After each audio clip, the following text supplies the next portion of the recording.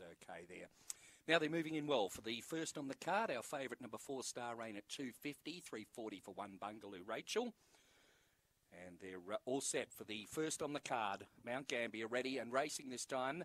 And Bungaloo Rachel, the best to begin, headed off by Star Rain early. And Star Rain leads into the back. Bungaloo Rachel second. Two away then came Zippy Cadillac. And back at the rear, Myola Frank as they yeah, start to bunch.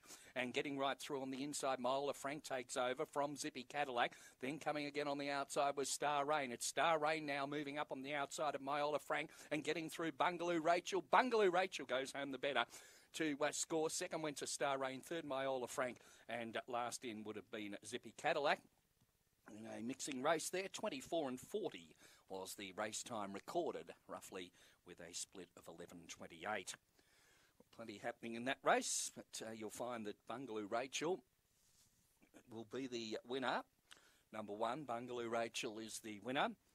From in second placing, number four, Star Rain and third in has gone to number five, Myola Frank, which means the fourth will go to two, Zippy Cadillac. One, four, five, and two.